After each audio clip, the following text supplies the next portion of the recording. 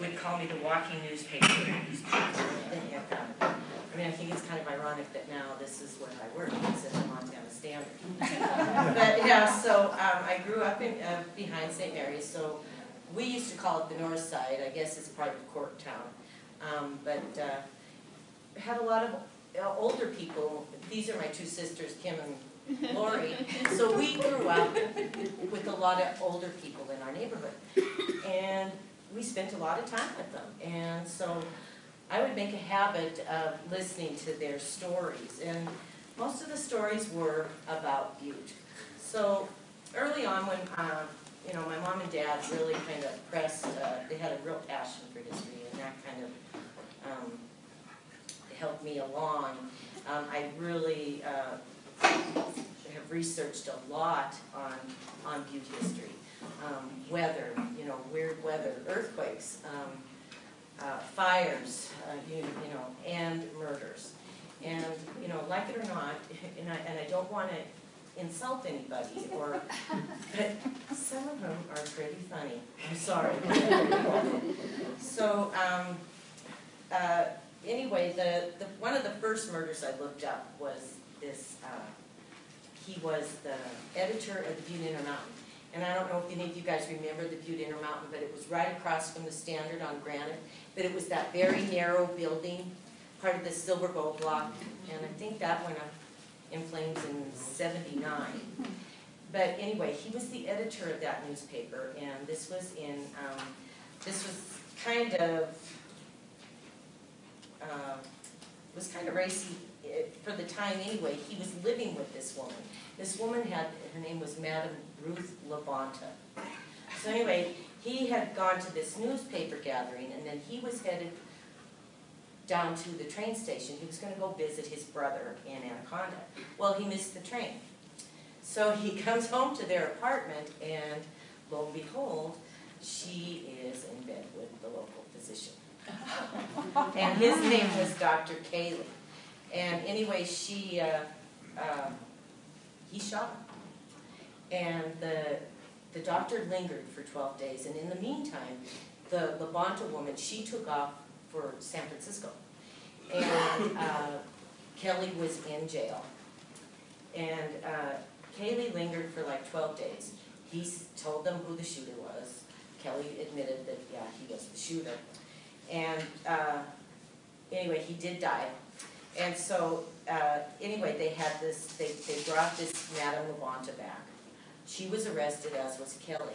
And I haven't been able to confirm this, but Kelly was, uh, with, with an EY. But his, um, and his lawyer was Con Kelly. And I've never been able to confirm if that was Con Kelly from the Kelly Mansion, because he was a lawyer as well. But anyway, the, and the, the newspaper articles, I mean, they had these, these elaborate drawings they made out that, you know, this woman was really, um, you know, they really painted her with, you know, bad. But, uh, um, there was a trial, and the trial lasted for ten days. But Kelly was acquitted. Yeah, Kelly was acquitted. He admitted he was the shooter, but he was acquitted. And Lavonta, she was released. But this is what they, uh, uh, in, in the Anaconda Standard, um, this is what they reported. Lavonta had enfolded Dr. Cayley in her infamous serpentine coils. This is how they wrote, yeah. And Kelly too was viewed as a victim of a woman with no morals. So, yeah, so basically, he got away with murder.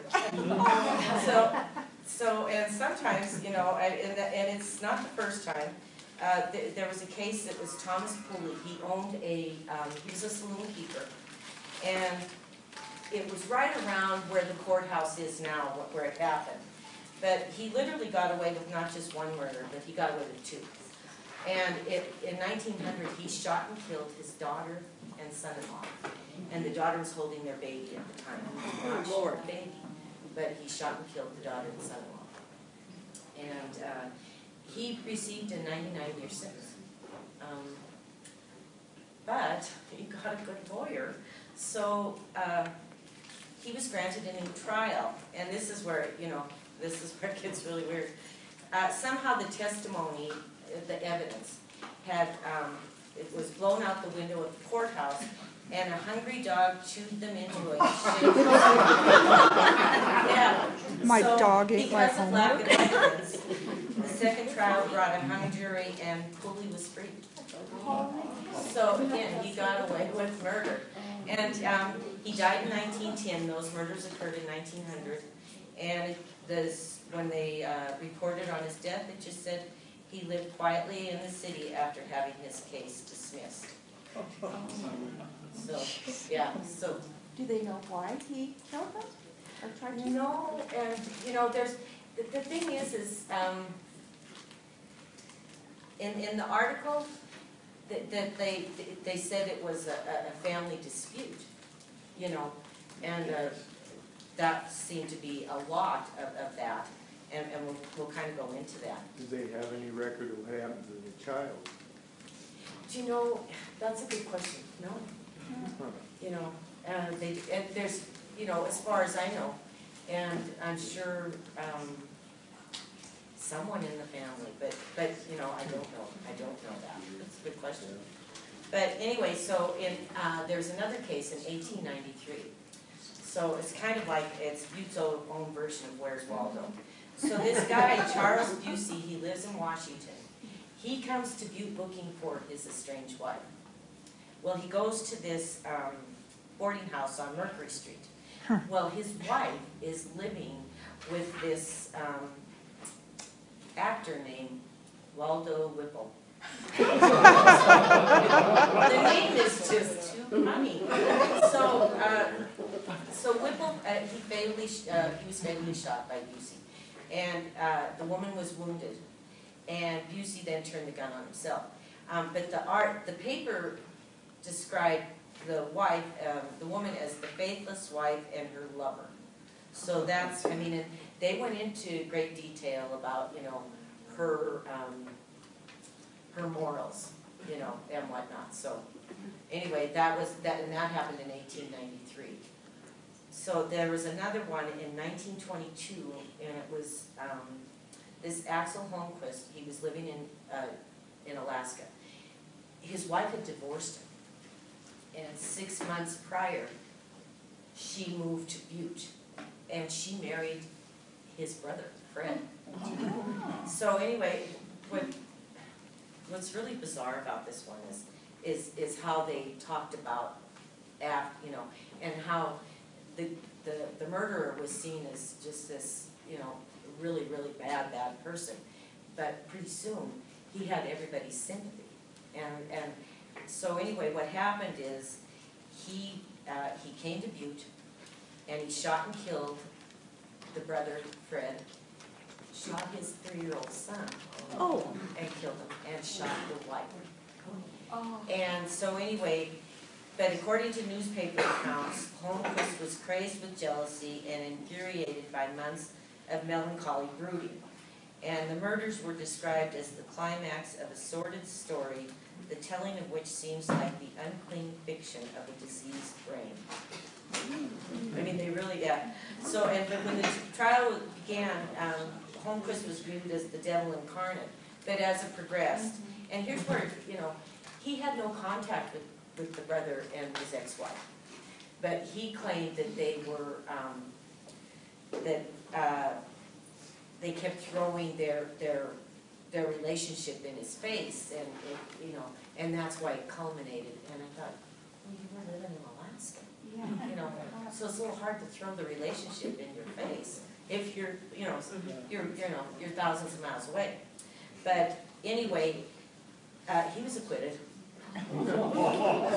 Yeah, so, anyway, he was acquitted by reasons of insanity and was described as a man whose crime at the time of commission filled the public with indignation, which later turned to sympathy when it was shown on a reputable testimony that the man was an epileptic, that he had been cruelly wronged and then mocked by his brother and ex-wife, when they're living here and he's living there. And, until an intellect already weakened by brooding and disease, um, he, um, killed them. So, I mean, that's what, uh, that was their excuse, and so he was acquitted. Um, he didn't, he died eighteen months later, he was buried in a pauper's grave. Hmm.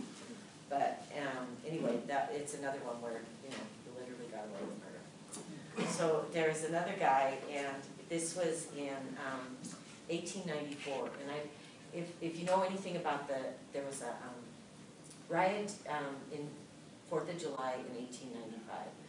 Um, believe it or not, the Irish weren't too welcome um, when they got here. And so in eighteen ninety-four, here comes this Jerry Connell, and they're walking uptown. Um, and they were headed home, um, and it was Independence Day, eighteen ninety-four. But anyway, uh, Connell was, uh, slightly inebriated, and he was loudly singing Irish tunes. Someone yelled to him to shut up, and, uh, he kept singing, and he was shot killed. Jeez. They never found who But, you know, I mean, that's, you know, God love him. So, yeah, you know, singing, yeah, singing, yeah, yeah, your singing killed you. So, um, anyway, there was another guy, um, and, uh, apparently you don't question someone's dancing skills either. Uh, this guy's name was John Paterno, and it was in nineteen fourteen, and he was at a dance in Meaderville. Well, some countrymen were teasing him that, uh, this, uh, Savarino Calvetti was a better dancer than he was. Well, he got ticked, he, he shot and killed him. And, but what happened is, a stray bullet hit, um, uh, Calvetti's ten-year-old son and also killed him. So, but Katrina was captured, and in days following the murders, he really, they said, this, these are newspaper accounts. He, uh, really wasn't showing any remorse, and a, newspaper reporter wrote that Katerno continues to eat and sleep as one carefree. When it came time for dinner yesterday, he was first in line to get his helping of bread, beef, coffee, and potatoes. So, anyway, he, uh, but what, what I was telling Kim about this is what, what's really weird is when he was captured, and I don't know where, he, he was captured in Walkerville. Um, and when he was, but him and the detective that, that uh, arrested him, they posed for a picture with the standard photographer. So It's just kind of funny, here's this guy, and then when they're, when they're in, they're in the, um, some sort of room in, in the courthouse. And again, you know, they're all sitting around like they were having a commissioners meeting, and they're posing for the photographer. You know, so it, you know, it's just kind of, there was another one where in, in Meaderville, and, uh, this was in nineteen twenty-five, and it was Tony Pateri. And all I can get from this is, it was some sort of dispute among these, these four Italian men. But, um, on November twenty-fourth, nineteen twenty-five, he killed, um, three men, and all in the same night. Uh, two of them as they were coming out of, um, of the, uh, of a house, Joseph Cicerelli and Antonio Favero, and then this John Dariana, who had eight children, eight children. Um, between the three men, they were all married, there were eighteen children. And so, anyway, but within the next ten months, Viteri, he was, he was caught, he was tried, he was convicted, and then he was executed on October first, nineteen twenty-six. So, anyway, when, uh, and it is the last execution in the last execution. Um, but on the day of the execution, uh, he attacked police with metal pipes, um, and he did not go easily to the gallows, and they had to use tear gas on him. Um, But it is the last one to take place. Um, there's another guy, and I thought, um, uh, Daniel Lucy, and he was another one who hung. But he was in love with this woman, uh, Margaret Gallagher, and, uh, he wanted money to marry her. Well, he didn't have it, but his friend did. So he killed him. Yeah, and his name was, uh, Patrick Reagan. And, uh, he's buried down at, um, St. Pat's Cemetery. And not too far away is Daniel Lucy. It is also buried there. Um, anyway, he, uh, the, it's, it- the newspaper article, um, said that, uh, Lucy will sleep in the Catholic cemetery, but a little way from where the body of his victim is mingling with the mold. Isn't that lovely? And, and that's what I mean about some of this stuff being just, you know, you can't help it. You know, I remember, I did a story on cemeteries and I was out at the Holy Cross Cemetery. And it's, there's, it, there's snow on the ground, I'm the only one out there. And I'm walking around looking at the headstones. And I turned around and looked at this headstone and I just bust out laughing. The poor guy's name was Baldo Caput. I mean, you just couldn't help but laugh, you know, yeah, yeah, God love him, I'm sure he appreciated that, but I was like, no, that's, that's funny. Yeah, but anyway, Daniel Lucy, um, he had family, and so that, a lot of these, uh, there were ten men that were executed by hanging here. And, uh, most of them went into a pauper's grave, but Daniel Lucy had family, which I thought was weird because he killed his friend for money. And, but his family had money to bury him, you know, so, um, anyway, but he, uh, and that happened in, um, September of nineteen hundred. But when he was executed, um, there were twenty-three hundred people there to watch. And, and there was, there was a, there was a hanging in nineteen eighteen, it was three men. And, um, I have an, my, my grandfather, um, Michael Egan, got an invitation. They sent out invitations to, um, hangings. Yeah, so, yeah, and so anyway, but, Don't they do that now, Bernie? You know, I don't, I don't know, I haven't been invited. You know, It just seems so weird, and it was this nice little, yeah, yeah, it's just a nice card. I've seen one ju- um, uh, I've seen some online for, for this, the nineteen eighteen execution, but, I mean, it just seemed weird, you know? And it, it's very nice, the calligraphy is, I mean, it's just nice, you know, but you think you were being invited to a wedding reception, you know, is, is how it looked, so, anyway. Um, but some of these things, I mean, there, there, there are some interesting cases. In nineteen forty-four, um, a man living in the Queen Edition, he killed his wife with an axe. But he told police he did it so she wouldn't suffer anymore. And that's, basically, it was a mercy kill. And I was like, wow. How, how nice. Yeah. So, and in nineteen thirty, there was a guy, eighteen years old, and this is how quickly things, you know, I mean, we all know how, uh, murder cases are now. I mean, you know, one, you know, from being charged to, you know, being tried. You know, it, it can be upwards to a year, a year and a half before trial ever starts. Anyway, this kid was eighteen, he killed, um, a businesswoman, um, Christina Wilson. She owned a lot of property in Butte, and apparently around the state as well. She was sixty-two years old, and it apparently was a robbery. But it was also described as the most brutal, uh, murder in Butte's crime annals. And, uh, but robbery was the, was the motive. But what was interesting about this is the murder occurred March twelfth. He took off for Texas. Uh, they, they caught up with him in Texas. He was arrested, extradited to Butte, tried and convicted, and was in prison serving a life sentence by March 29th. That was seventeen days. Yeah. I mean, uh, that's just, that's just not heard of anywhere, you know.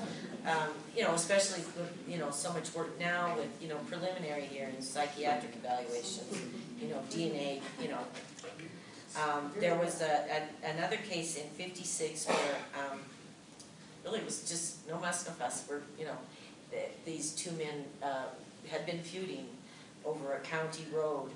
Um, it was, uh, James A. Daniel Boone, he claimed to be a descendant of Daniel Boone.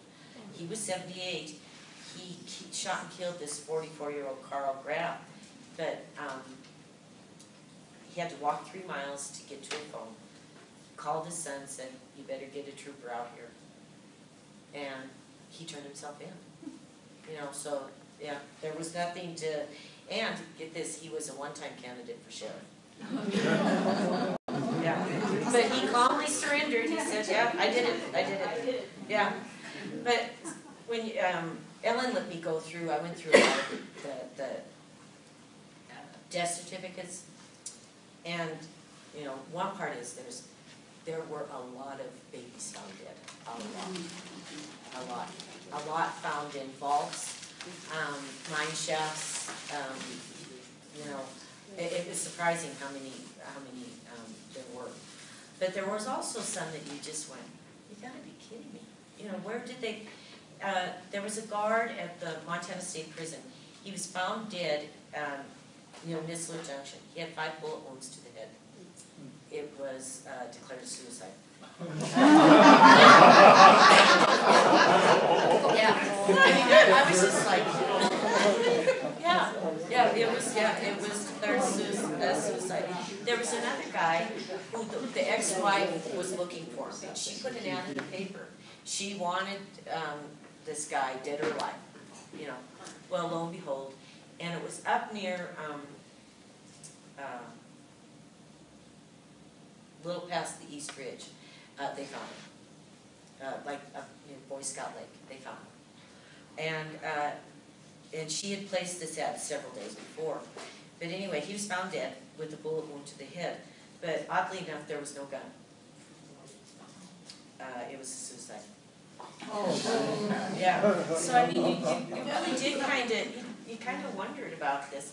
And so then I told one of the guys at work, um, I said, uh, there's three out of the, um, well, let's just say seventy-five percent of the murders, um, were, uh, the victims were men.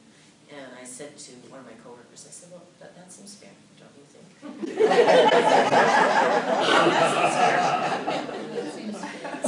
But, and there were a lot of murders that happened before eighteen ninety-four, and again, you know, it's kinda like the mining accidents.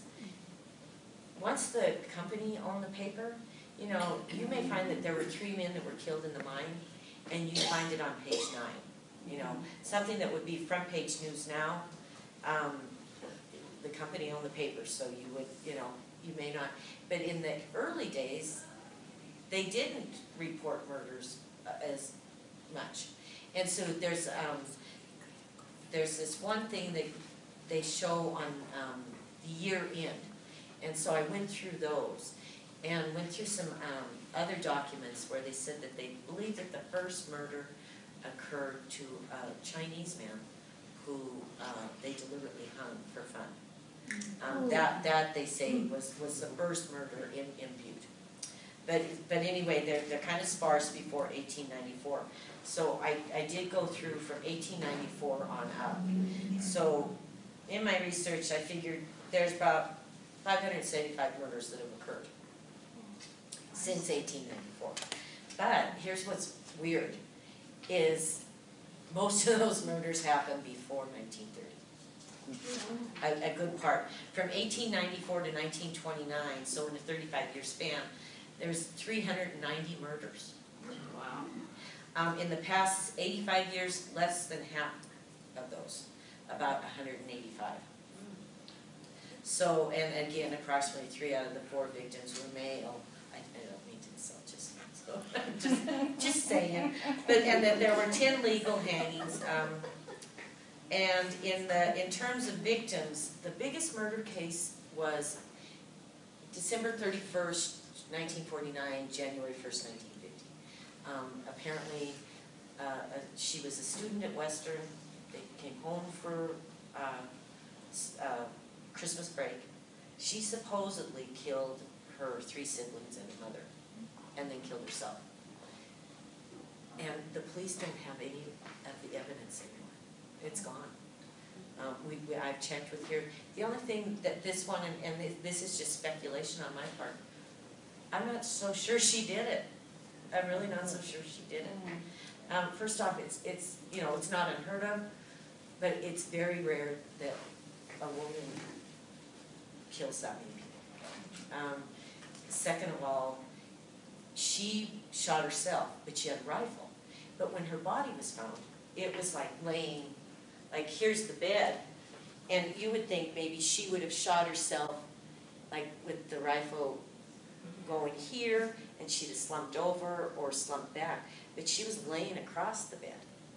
And I thought, And I even took it over, uh, to, uh, Sheriff John Walsh and showed him the stuff, and he said, yeah, that does sound weird. But we'll never know if she, did- if she did it or not, because the, they don't have any, anything on it anymore.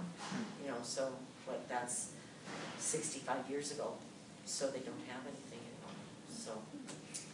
Anyway, but, any questions? I I don't wanna talk to you. I know. Yeah. I remember when I was a kid, there was a murder, a mother and a daughter. The McQuistons? And the Kristen? Don't remember the name. it- Yeah, the- it was a mother and daughter, the McQuistons, and it remains unsolved. And I wanna say. Butch Harrington, Sixty-five, sixty-six? yeah. Mm-hmm. Butch Harrington will come in every now and then when he has some free time and just poke And just around. look at, yeah. Yeah, because he said, he said, oh, you know, it's just always in the back of my mind. I just kind of come in and see if there's anything There's new. always rumors, you know, of who did it, you know, my mom, you know, remember my mom sharing with us who she had heard who did it, you know, but they've never, you know, um, they've never found who did it. But yeah, it was, that was a, was gruesome. yeah, it was, Mhm. you know, I, um, I think, uh, I wanna say there's a sister still. Mhm. Yeah, yeah, but, so, actually, I think, you know, it's about fifty years ago. When, when, when it happened, Was it a gun or, when I say gruesome, what?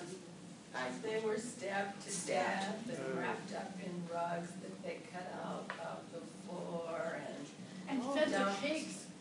well, that was a different one. They were found up. That was, they were found up behind Am, the Yeah. Am. they, the, the home was a mess, I mean, they knew right away something bad had happened. And I think the home was up in Centerville. Yeah, and, but, right, and so she, but, uh, I mean, there was apparent, you know, And the mother was a nurse. Mm -hmm. and she, the daughter had just divorced.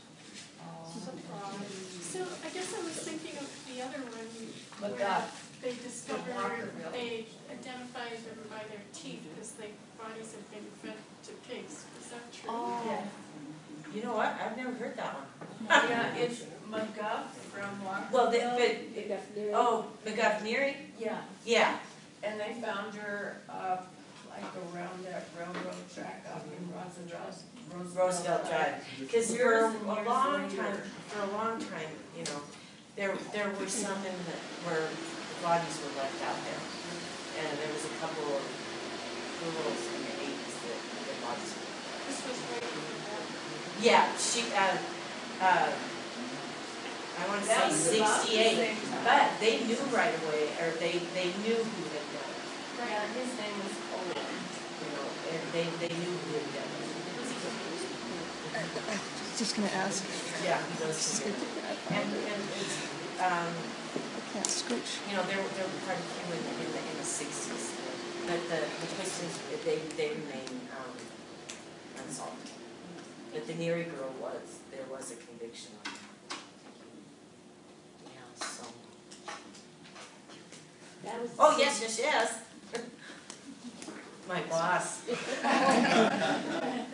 Tracy, I'm wondering, you said there were ten legal hangings, Yeah. right? Um, other than, of course, the famous lynching, uh, were there lynchings? Did, did you find illegal hangings as well? People took justice to their own hands on, on murder? No, there was one where they almost did, at least from eighteen ninety-four on, no. But there was, and, um, there was a gentleman, and it was, can't think of their name.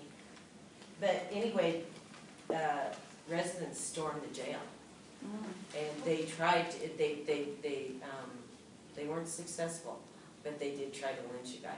And there was another gentleman that they tried to lynch, there were, um, a little girl that was murdered, six years old. Hmm. And they weren't sure if, uh, they were sure it was this, this older guy that had done it. I think her name was Eveline Blewett. Um, but, um, he was, uh, the guy that, um, uh, the two Irish guys, they moved him to the Deer Lodge jail. Just because they were afraid that the next time they'd be successful. You know, so I mean, there's, hi, John. Yeah. question, two of them really. Um, First question, what in the world possessed you to dig out all these murders? I mean, why did you decide to? You you do my it boss, part I of said- stuff on your other stuff, it's just, this is kind of, I don't know, out of your realm of a little picture of history. You know what though, I know, but you know, you read some of this stuff and it's, I mean, and there was a, um, you know the explosion in, in eighteen ninety-five? Where all the firemen were killed. And, I mean, I just loved how the paper, I mean, there's no way we could write like this. And, but I just loved how they, they, and, and you know that this did not happen. But they were talking about this woman and there was an account in the paper where, anyway, and the woman was walking near where, uh, St. Joseph's is. And anyway, the reporter said that when the explosion occurred, as she was walking, this head landed in her arms and gasped its last dying breath. Mean, I'm, sorry, that's funny, I mean, and, and you know that that did not happen, but, you know, it, it was just the way they wrote. And so I told my boss, I said, I got, when, you know, twenty-five years ago when I started doing this research, I had, I had my regular job at the paper. But, you know, you, you find a rhythm of doing things, and pretty soon I had time on my hands. And this is what I did. So, I mean, I did, I mean, you know, we've got, I, I researched all the headlines from nineteen hundred up. Um, you know, I researched all, again, all the, all the fires, you know, the murders. Um, I even researched like names, because I don't know if you guys have noticed, some of the birth, some of the names in the birth announcements that we get, they're a little odd, you know, they're, they're a little odd, and I, so it made me think, did, did they have odd names back then? So I went and looked, and you know what, they did. And some poor little girl name was Dimple Fern. I thought, well, that's not nice. Dimple Fern, but yeah, there was a lot of different names back then. Oh. So, yeah, so it's just stuff like that. I got bored, and, uh, and these guys, Carmen, and they, they just put up with me. And there she goes. Yes, Lori. Well, one of the things I wanna say about, about Tracy with, with this, is not just the murders, it's the way it was written, it's the history of everything and how it was projected. And so, um, this is just a, a brief glimpse into what Tracy knows as to all the things that have been written in history and how they were reported. And I think that's the important thing, how they were reported. Not Well, only and that, she but likes- murders are so sensationalized. Well, yeah, and we You could know, everybody's interested in a murder. Well, but even, you know, This is and that's, just what- so and I, I didn't kind of talk about that, but really, when you think about it, you know, um, my favorite actress is Margaret Rutherford. And I don't know if any of you guys know who she is, but she played Miss Marple. Oh. And, um, she died, uh, I think, not long after I was born. But, I mean, she was a riot. And, but it, it was all, you know, murder stories. I mean, like it or not, that's, you know, we find entertaining. You know, I mean, or otherwise, you know, my mom watched Murder, She Wrote, you know, all the time. You know, I, I was telling my boss though that I had a great aunt, um, she would send me down to the P and O newsstand when I was a young teenager to buy True Detective magazine. And I mean, I felt like I was buying porn. So I would, I would say, I would tell anybody who was standing there, anybody who cared, I followed everybody and making a point that, hey, you know, just so you know, this is not for me. I'm not buying this for myself. But I bet you read them, Tracy. Huh? I bet you read them all. No, no, I didn't. I'm kidding, I was like, huh, you know, and, and the star, you know, for some reason, that just Enquirer. Yeah, but, you know, those things, and, and my mom said, her mom read True Detective magazines, and, you know, so I thought, oh my God, it's in our genes. So, but, you know, really, you know, like the O.J. Simpson trial, everybody, when, when that verdict came in, we were all watching to find out what the verdict was. Um, you know, um, you know, the, the big trials, I I was thinking back, like, um, you guys remember the movie, the, the girl in the, is it the Red Velvet Swing? It was, it was a big murder case, and there was a case in the twenties, Leopold and Loeb. Loeb. Loeb, yeah. I mean, that was it, and, I mean, that was front page news for many, many days. Um, and, you know, people were fascinated by that, you know. I think it remains one of, one of the biggest cases in, in the, in, for the twentieth century, you know. So anyway, that's what got me, you know, Butte fascinates me, um, you know, it, it just, I, I, when, when, when it came out that Rob O'Neill may was probably the shooter, you know, and I thought, no, it's not really surprising that he's from Butte. You know, I, I, and I thought about it, you know, we, um, there were something like, um, seven Butte men in the Bataan Death March, seven Butte men. You know, there were, um, eleven people aboard the Lusitania from Butte. And get this, they lived across the street from my mom and dad. You know, so, I mean, it was, you know, the, same, almost the same number were on the Titanic. You know, so big things that have, world, you know, Butte seems to be right in the thick of it. You know, so I think that's, it's just kind of interesting. So anyway, but, Tracy, you said twenty-five percent of the cases, the women were um, victims. What, how many women committed the murders? oh, well, you know, that, that's a good question, but let me tell you. Filthy Mouth Jean. You did, Dirty Mouth Jean and, um, Ruby Garrett both killed their common law husbands. Uh, like within a week, a week of each other, two weeks, in, in nineteen fifty-nine. Um, Dirty Jean went to prison in the eighties for a shooting. But she did not, they really didn't, uh, uh, they basically got away with it in fifty-nine. And my research is, no woman went to prison for shooting her husband. Sorry.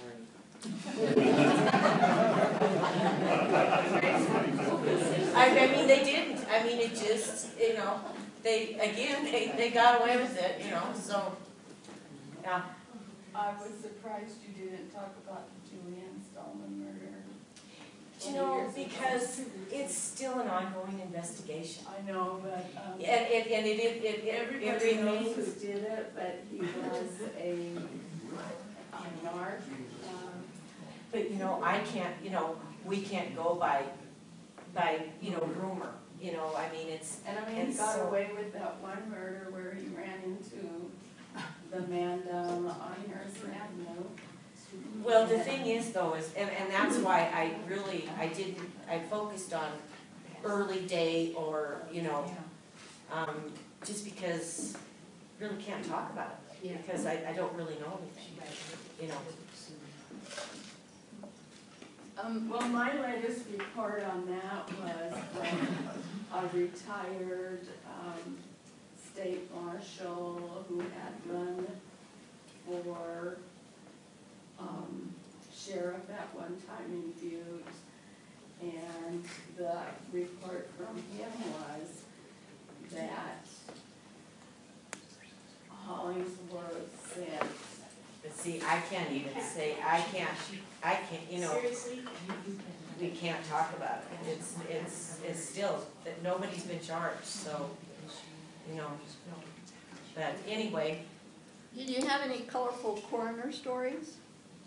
Well, you know what, I think the guy with the five bullet wounds to to the head is, is, uh, you know, I, I, know, I thought, suicide, I thought, yeah, that's what people are, or even the guy, you know, with, with the, uh, and no gun in sight, you know, and the, and they hadn't had the paper, you know, she hadn't had the paper, she wanted her husband dead or alive, well, she got him, he's dead, you know, but, but no gun, you know, so, oh, there's certainly, there's, and, and, you look at some and, and, and even when you look through those, and you should, look through some of those death certificates and you're like, yeah, you know, these, these are two that, you know, really stand out, but there's others that I kind of went, huh, you know, but, uh, but these are the ones I want to focus on, just be, I mean, you know, there, there really are, there's, there's lots of stories, there's, you know, there was a guy, who, uh, was shot and killed for wearing an Irish uniform.